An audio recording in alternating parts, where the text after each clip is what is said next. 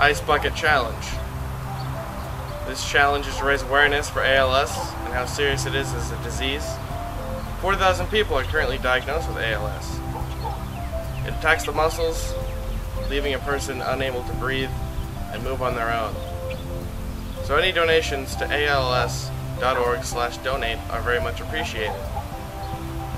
To help with this awareness, we're going to dump ice on our heads. Just ice, no water. The ice melted. Ice, the ice, the ice melted. We took too long. Uh, so I was nominated by Rachel Hammonds. Uh, I was gonna do it anyways, so what up? I also do, uh, I nominate Devin Rexroth and Kevin Shanes and all the members of Torn. Do it. You have 24 hours. Oh, by the way, Kelcy, uh, I nominate you, and Oh. you have 24 seconds. Uh, oh.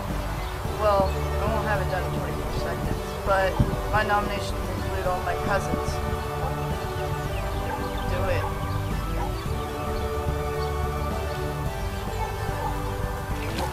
Oh! It's not pleasant, I'll tell you that. I'll tell you that much, it is not pleasant. Oh, it still got me! where, where are your hands at, bro? Where are your hands? Yeah. ALS.org slash donate. I.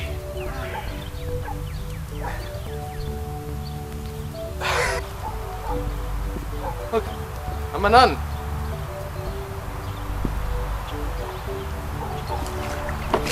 There we go.